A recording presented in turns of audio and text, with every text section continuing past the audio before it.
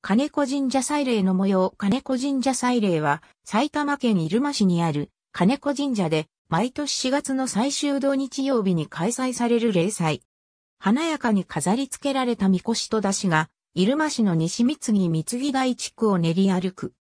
地元住民には、金子神社霊体祭、または天皇様の霊体祭と呼ばれ、同市を代表する祭礼の一つに数えられる。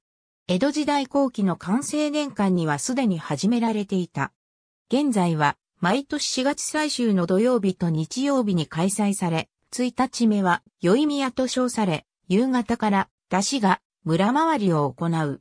2日目は本祭りと小子午後からみこし1機、出汁2機が村回りを行う。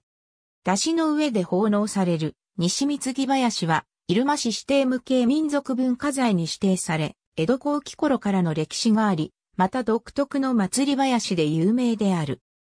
祭礼の起源については不明であるが、完成3年6月に大官所に提出した村官名祭帳には、林矢端の間、五頭天皇の社一家所行座を、毎年6月15日五両、資料の百姓どもより合い、少々祭り捕まり申し子と記され、完成年間には、すでに金市京西三木村の村民により、祭礼が行われていたことがわかる。また、当時、五頭天皇は天皇様と称され、村人に天皇様の祭礼として尊ばれていた。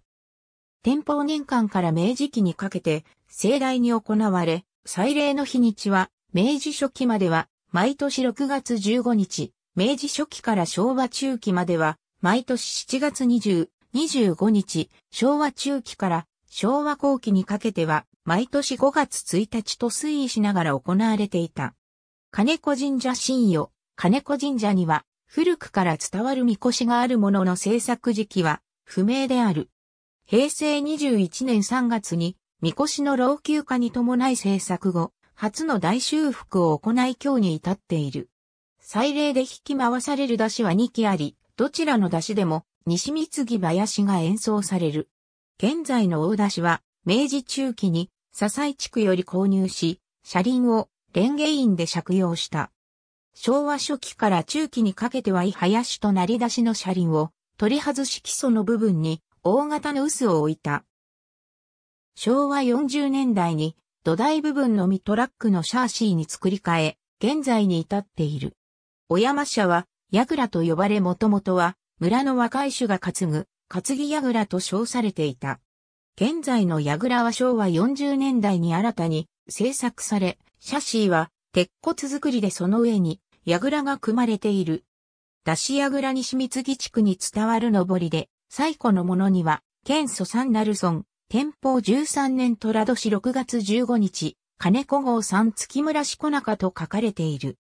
江戸後期より、参道に、ひさぎ明かり、旗竿を立て、大正初期には、所沢より八尺余りの神武天皇、新田義貞、加藤清正の出し人形を借り受け、講談の上に飾り立てた。祭礼当日はみこしを先頭に、神主が具部、氏子総代、みこし係が警護し、小学生が灯籠を持って、道路を照らし、フリーマン島2期には、村内安全、五国北条と書かれていた。2期の出しでは、西三木林が演奏され、櫓では道々で、道中を新種所に到着すると櫓を地面に置き、車切れが演奏された。大出しでは五人林が演奏され、どちらの出しもお城に、晴れ着姿の子供を先頭に、西三木流木やり、ホラガイ、標識を打ち鳴らしながら、村回りを行った。昭和中期には、根通りを、東は、入間市神谷が抜き、西は、入間市木蓮寺まで練り歩き、その道々において、近隣の大梅富士若林、南一方林連、新久市林保存会を招待し演奏させた。現在は交通事情もあり西三木、三木台のみを回るだけである。西三木林の演奏はご神体を、三越から天皇さんの金子神社に移し、三越が下山するまで賑やかに行われる。ありがとうございます。